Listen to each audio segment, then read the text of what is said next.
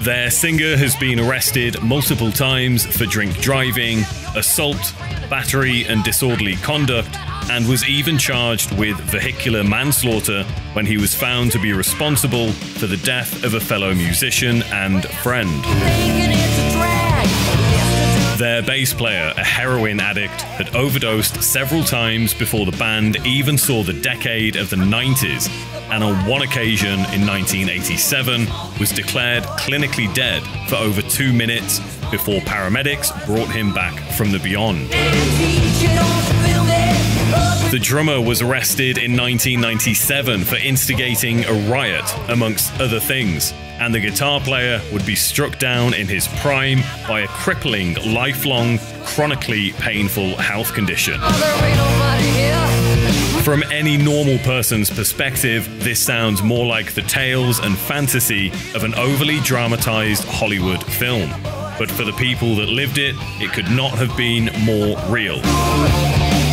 Death, danger, drugs, and heartbreak would be the muse for this raucous, death defying act from Los Angeles, California.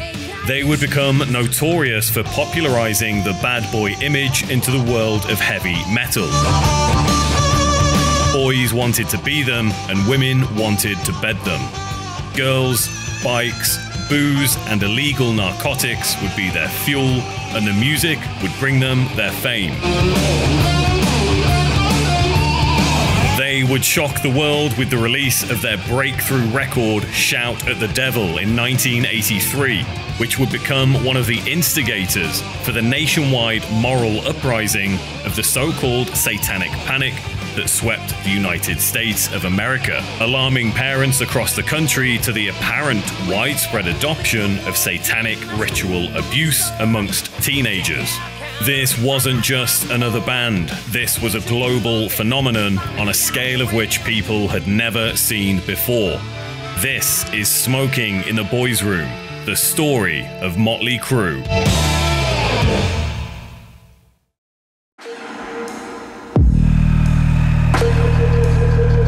Led Zeppelin, and the next song would be Olivia Newton John, and then it would be some new band uh, called Aerosmith doing a Yardbirds cover, and then there'd be Crosby, Stills, Nash and Young. So my mind was trained very early to, to be open. Nikki Sixx, born Frank Feranna, December the 11th, 1958, in San Jose, California, would come from what you could call the classic American broken home. Raised by his single mother, who was just 19 when she gave birth to him, often spent more time partying than mothering, and also raised by his grandparents after his father left the family. Sixx had spent many years trying to figure out what happened to his father. He seemed to have just abandoned the family when Nikki was very young, too young to even remember. I fell in love with drugs and alcohol for the first time when I was just six years old. By that time, I had accepted the fact that I would never have a real dad. But it's no secret my mum didn't have a problem bringing men around to try and fill that void, even if it was for herself and not me. It's clear that his upbringing, or lack of, not only had a profound impact on his formative years, but it would shape his life and addictions for many years to come. Around the age of 15, though, Sixx would discover what you could call some of his heroes. He remembers hearing Iggy and the Stooges for the first time on the radio. Search and Destroy was the song, and the lyrics would become ever so fitting for his lifestyle.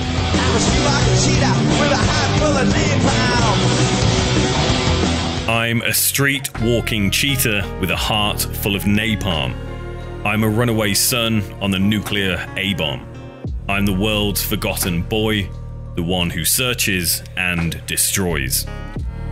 In 1973, it was all about glam. The New York Dolls released their first record, and they would quickly become his new infatuation as he tried his hardest to imitate his new idol, Johnny Thunders, guitarist for the band.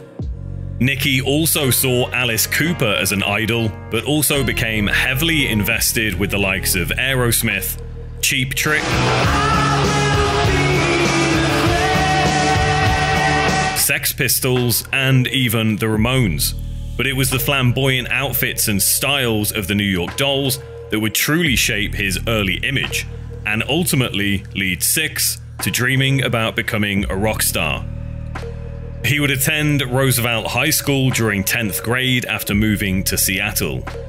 Once I got over to Roosevelt High School, all the kids I was hanging out with, they played instruments, they looked cool. There were places to buy cool clothes. There were hangout areas in the university district. That was such a cool hang in the 70s. I felt like I came alive in Seattle. To be honest with you, everything that I loved was there. Here, Nikki would become friends with Rick Van Zandt, the same Rick Van Zandt that would join Metal Church many years later. Sixx was so desperate to be in any band that he even stole a guitar, thinking it was a bass, in order to join a band with Rick. That, however, didn't quite work out. Nikki would move to Los Angeles in the late 70s and would soon join a band called Sister with Lizzie Grey, Dane Rage, and Blackie Lawless, the very same Blackie Lawless that would go on to form Wasp. But this didn't last long. After recording a demo tape in South Bay, Blackie, not surprisingly, fired Sixx and Grey, who decided to form their own band called London. November 7th, 1980, Frank Feranna Jr. officially changes his name to Nikki Sixx. He toyed with the idea of calling himself Nikki London or Nikki 9, but instead he decided to basically steal someone else's stage name. A cover band called Squeeze from Riverdale, their singer Jeff Nicholson went by the name Nicky Six, which he took from the license plate of a Mercedes, N I K I 6. Nikki just changed the spelling. His new band, London, would become hugely popular amongst the Hollywood scene and gave Nikki his first real taste of being a rock star. However, due to tensions within the band, this wouldn't last long. Nikki Sixx knew he was on to something big, so he decided to leave London and start something new, reinvent himself and his band. And that band would be Motley Crue.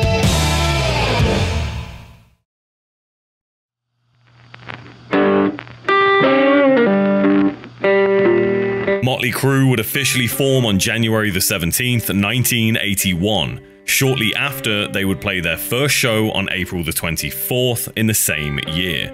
This would take place at the Starwood Club in West Hollywood.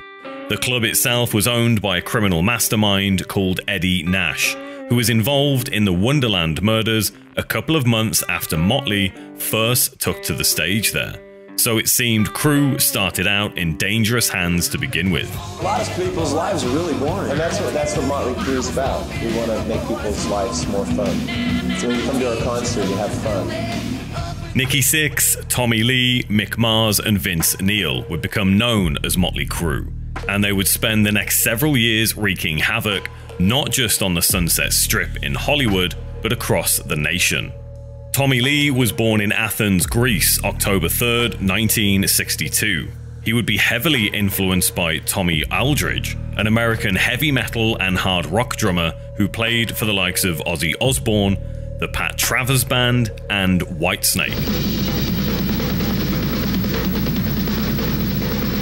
Tommy Lee was given his first set of drumsticks when he was just four years old and eventually dropped out of high school to pursue a career in music. It would be him and Nikki who would start jamming together after Nikki's former band, London, had fallen by the wayside. Vince Neil, born Vincent Neil Wharton, was already a Californian child by heart, being born in the Queen of Angels Hospital in Los Angeles County, February 8, 1961. Vince would also be introduced to danger at a very early age. In August of 1965, a large scale race riot that lasted six days took place in south central LA. Something Neil says he remembers vividly 34 people died during these riots. Vince didn't exactly come from any type of musical family. There were no musicians in his household to show him the ropes. He never attended any singing lessons or school choir. I never even sang in the shower. Nobody in my family sings. I never took a lesson. I never knew what I was doing. Basically, I faked it from the jump. I had the act down, all I needed was the voice to go with it. It was all about the attitude. Neil would end up in a covers band called Rock Candy during high school, singing hits from ACDC, Zeppelin, Black Sabbath, Cheap Trick, and Aerosmith. They would start playing in people's backyards or house parties, and often would be shut down by the police due to noise complaints. For me, in high school, being in a band meant free beer and steady supply of girls. That's why I was into it. Girls wanted to get with the guys on stage, especially the singer. That was pretty much it. What else was important in high school? Mick Mars being the oldest member of the group, born Robert Allen Deal, May 4th, 1951 in Indiana, moving to Garden Grove, California around the age of 9. By the time he was 14, he joined his first band, a Beatles cover act called The Jades. Mars started playing the guitar around the age of 7 years old, if you can even call it a guitar he managed to get his hands on a 1950s Mickey Mouse wind-up guitar, far different from the classical Fender Stratocaster you would most likely see him with nowadays. Mars's main inspirations, like many guitarists that grew up during the 60s and 70s, would be Jeff Beck, Hendrix, and Eric Clapton. However, Mick's big guitar hero was Mike Bloomfield. Bloomfield was an American guitarist from Chicago, Illinois, who rose to fame in the 60s as a prominent blues rock musician. And if you listen to Motley Crue songs, it's quite easy to hear the prominent influence of traditional blues music within many of Mick Mars's riffs, despite Crue becoming known as an influential glam and heavy metal band. November 10th, 1981, Motley Crue released their debut studio album Too Fast for Love. The cover alone was enough to cause concern for any God fearing American family, with Vince Neil's leather clad crotch on display, accessorized with studded bracelets, a spiked belt, and a very subtle devil horn hand gesture. Not to mention handcuffs that many would interpret as a nod to bondage. Not exactly the type of album cover you'd want to find in your kid's bedroom. Motley Crue, though, were all about shock value and promptly ditched their almost clean aesthetic they adopted at first to full on devil worshipping imagery and demonic looking outfits. Whilst Livewire would be the lead single from the record, this album also contained a song that would cause some conflict with Sixx's previous band London. The song in question was called Public Enemy Number 1. Nikki's old bandmate and best friend, Lizzie Grey, said he was surprised to see this song on Motley Crue's first record, saying it was a song he solely wrote for London, yet he only received a small credit on Crue's debut album, as well as Sixx also crediting himself on the song. Public Enemy number one, though, became a crowd favourite. The song would also ironically represent the band's mantra for years to come, as their out of control rock and roll antics made them the focal point of what you could call a modern day witch hunt. Although Too Fast for Love wasn't an instant commercial success, the Quaalude loving quartet would waste no time making their presence known to the police and border authorities during one of their first tours. 1982 would see Crue marked down to play eight shows across Canada. However, at some point during this tour, they were quite literally kicked out of the country. It was great because we were so young, we didn't know. We got kicked out of Canada, and I remember at the time we were like, good fucking riddance. We were happy. We looked up to the Sex Pistols. We were like, wow, great. We got thrown out of our first country. Now, whilst it wasn't the first time a band had encountered legal issues whilst crossing the border on a tour, such as Lemmy from Motorhead being arrested at the Canadian border in 1975 when he was still with Hawkwind, this early incident involving Motley Crue would be nothing short of child's play compared to the widespread chaos they would embark upon throughout the rest of the decade. Chaos that would cost lives. Satanism, devil worship, is being practiced all across the country. We have all types of perversion going on, and it's affecting America. During the early 80s, a number of bands within the heavy metal genre were gaining popularity amongst the younger generation for their aggressive and unruly behavior. Some, however, were becoming known as the devil's music. Musicians that either embraced Satanism and the occult or just outright went hell crazy singing about Lucifer. Black Sabbath and Coven are two early examples of groups that were deemed to be Satanist. Black Sabbath, of course, well known as the founders of heavy metal, developed quite an intense following of fans that actively practiced various aspects of the occult. And Coven, an American outfit from Chicago forming in 1967, are believed to be the first hard rock band to feature the devil horn hand gesture on their album artwork, whilst also depicting inverted crosses, skulls, and even ritual sacrifice. Then you have the new wave of British heavy metal movement that saw the likes of Judas Priest, Iron Maiden, Diamond Head, Yes, I am. and others that many God fearing families would also deem to be satanic to some extent, or at least a bad influence on the kids embracing their music. Most parents, though, would see these obsessions more akin to teenage rebellion as opposed to ritual sacrifice. Motley Crue, however, would take it one step further. September 23rd, 1983, the second studio album from Crue would hit the shelves. It would become one of the most controversial LPs of the decade. Shout at the Devil would sell over 200,000 copies in its first two weeks, becoming the band's breakthrough record. It featured a large black pentagram on the front cover, with blood red text for the band name and record title. Although not the first release to feature such imagery, Venom's debut offering in 1981 also donned a pentagram. However, it didn't see the same level of commercial success. From Shout at the Devil, Crue would release three singles Looks That Kill, Helter Skelter, and Too Young to Fall in Love. Looks That Kill would help to cement Motley Crue's early reputation for siding with Satanism and devil worship. Pentagrams, chains, studs, and fire, along with their hellish looks, would all contribute to the hell raising image that would terrify parents across the nation. Their new fame drew attention from religious groups and even a small feature in an ABC news special in 1985 called The Devil Worshippers. And finally, music, which is found here in the neighborhood record store under the category of heavy metal music. The satanic message is clear, both in the album covers and in the lyrics, which are reaching impressionable young minds.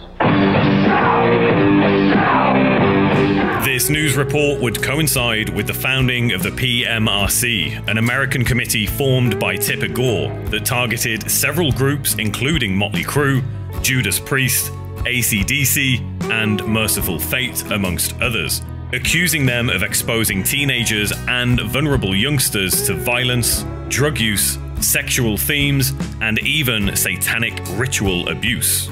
Whilst the intentions of the PMRC were to censor the likes of Crue, all it did was shine a light on how dangerous they really were. For Motley Crue, though, this was the biggest and probably most successful free marketing campaign they could have hoped for, as kids everywhere rushed to buy their records and be at the front row of every concert.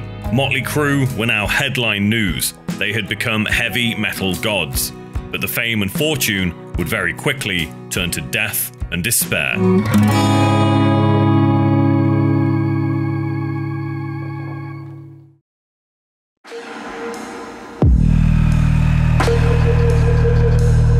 1980s would not only see Motley Crue become one of the biggest metal bands of a generation, but the very same decade would also usher in their downfall as the band entered a downward spiral of personal struggles and reckless behavior. November 14th, 1984, a Finnish band called Hanoi Rocks, often cited as the main influence for Guns N' Roses, were embarking on their first set of American tour dates. Starting out at the Salty Dog Saloon in New York, they would complete 17 dates in total, with the last show taking place on December the 3rd, 1984. On December the 8th, members of Hanoi Rocks and Motley Crue were partying together at one of their houses. Of course, everyone was heavily intoxicated by the time they had ran out of alcohol, but being rock stars, the party naturally had to continue. Vince Neil decided to take his Tommaso Pantera sports car to the liquor store, and joining him would be Hanoi Rock's drummer, Nicholas Charles Dingley, also known as Razzle, who was in fact an English musician. This would be the last trip he would take. On their way back, Vince Neil would lose control of his highly tuned sports car whilst heavily under the influence of alcohol, resulting in a head on collision with another vehicle. Not only was Razzle killed instantly, both occupants of the other vehicle sustained brain damage and were severely injured. Razzle was pronounced dead on arrival at the hospital shortly after. Vince Neil's punishment? Sentenced to 30 days in prison, but released early on good behavior. Or that was the story at the time anyway. It would later be revealed the reason Vince was given such a light sentence was simple money. He could afford the best lawyers money could buy, and that's exactly what he did. He wrote the courts a check for $2.5 million. I wrote a $2.5 million check for vehicular manslaughter when Razzle died. I should have gone to prison. I definitely deserved to go to prison. But I did 30 days in jail and got laid and drank beer. Because that's the power of cash. Despite this being made headline news and heavily televised, even showing Vince Neil in court, he got away with it. But this was simply just seen as part of the rockstar lifestyle. You can do whatever you want and face little to no consequences. The show will simply go on, or for some people, it did anyway.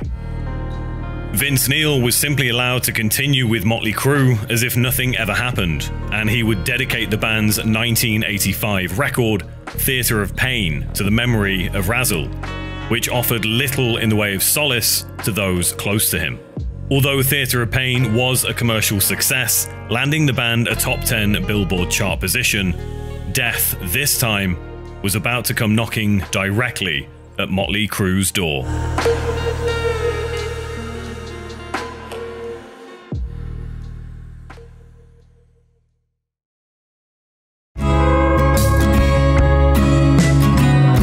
December 23rd, 1987, bassist and founding member of the band, Nikki Sixx, would be declared clinically dead. Alcohol, acid, cocaine, they were just affairs. When I met heroin, it was true love. Nikki had developed a long standing addiction to many substances over the years, but heroin would be the one that nearly took his life indefinitely. On this occasion, he was lucky. By the late 80s, he claims that he had already overdosed on this drug several times, once even having his body thrown into a dumpster. But two days before Christmas in 1987, he almost became just another dead rock star. I was at the Franklin Plaza Apartments in Hollywood, shooting up between snorts of cocaine and shots of booze. It was late December 1987. Motley Crue had just released our record Girls, Girls, Girls, and we were about to tour the world. From the outside looking in, I was living the dream, but in reality, I was in the throes of a disease I couldn't control, addicted to heroin. Nikki Sixx doesn't remember much from that night, only that someone had to call paramedics. He would wake up in the back of an ambulance and would later be told that he was declared clinically dead for two minutes.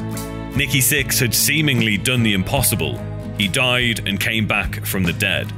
This quite literally should have been the nail in the coffin for Motley Crue's career, although that wasn't far off in any case.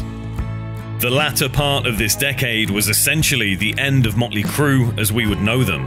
Girls, Girls, Girls released in 1987, and Dr. Feelgood in 1989 would be for many the last great records that Crue would ever release. Along with this, tensions within the group came to a breaking point. In 1992, Vince and Motley Crue would part ways with each other, Still to this day, Vince says he was fired and Nikki Sixx said he quit. Neil would be replaced by John Corabi, who wasn't exactly a well known name at the time, having only released one studio album with his LA band The Scream in 1991, although they quickly disbanded in 93. Corabi would only release one LP with Motley Crue, which would be their sixth studio album, a self titled record released March 15th, 1994. Although it hit number 7 on the Billboard charts, Motley Crue could no longer pull in a live audience. We were going to show them without a frontman dancing in the spotlight, we could play heavy four piece rock and roll like never before. And we were going to challenge them with the lyrics and images about fascism and stereotyping that would blow their minds. We were going to do whatever we wanted because, after all, we were Motley Crue. On the opening night of their tour as the new crew in Tucson, Arizona, they were scheduled to play a 15,000 seat amphitheater. However, they sold a mere 4,000 tickets. Nikki Sixx even went on a local radio show to offer anyone that showed up to the concert free entry. Only two people took up the offer. If I had said that in 1989, there would have been 10,000 teenagers rioting in the parking lot. That afternoon, two Mexican kids showed up, and that's when I realized it was all over. According to reports, the record label refused to fund any further recordings until Vince Neil was reinstated as the lead singer. During this time, Vince had actually had some commercial success as a solo artist, releasing two albums, Exposed in 1993 and Carved in Stone in 1995. Vince also instructed his lawyers to sue Motley Crue for 25% of future crew profits and $5 million in damages for firing him. Although Vince had found a new passion in his solo career, tragedy was just around the corner. His daughter Skylar would sadly lose her life on August the 15th, 1995. She died of cancer at the age of just four years old. This trauma greatly contributed to the ultimate downfall of Vince Neil's mental health and continuing struggles with addiction over the coming years. Vince and Motley Crue would, however, reunite in 1997, but it seemed the damage was already done. They had tarnished their reputation, and the fans had quite simply had enough. Whilst Motley Crue have continued to release music and tour during the past couple of decades, it just hasn't quite been the same. Motley Crue's story is much more than what is on show here. They followed a 40 year career that led them down a path of death, destruction, and absolute debauchery. And of course, with the current legal issues between the band and Mick Mars, which just adds more fuel to their ever dying fire, it would seem that Motley Crue no longer shout at the devil, rather just at each other.